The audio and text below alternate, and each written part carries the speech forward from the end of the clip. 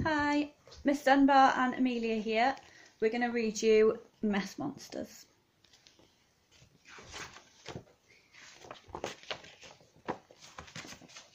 One day, Mummy, Mummy said that my room was a mess, and because it's untidy, she suffers from stress. I said I need the mess because it's better that way. If I tidied my room, I just wouldn't play. What I didn't know was that under my bed was a big gang of monsters who'd heard what I'd said. A claw, then a paw, then a horrible sight, as masses of monsters crawled into the light. The terrible monsters made terrible noise as they crashed and they smashed up all of my toys. They broke all my games, and before I was ready, they jumped on my cars and they clobbered poor Teddy.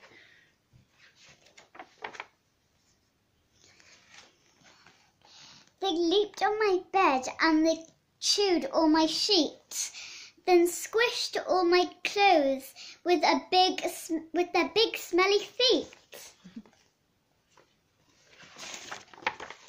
They banged down their tails so the whole bedroom shook. They stomped on my cushions and ate all my books. Enough was enough, so I shouted, Oi, stop! They are my things you're breaking. I want you to stop. I'll clean and I'll tidy, I'll sweep up all day if that's what is needed to send you away. You'll go if it's clean, you don't like it that way, you only like mess. Well, that's what Mum would say.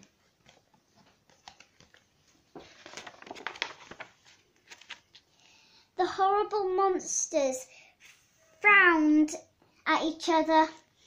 They knew that I'd I'd lose in a fight with my mother.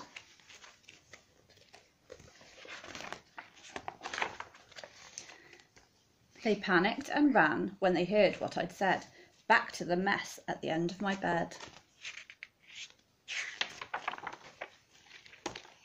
Now I tidied now I tidy now I tidy my room every nook, every crack. I want to make sure that they'll never come back. The end. Have you tidied your room? Bye.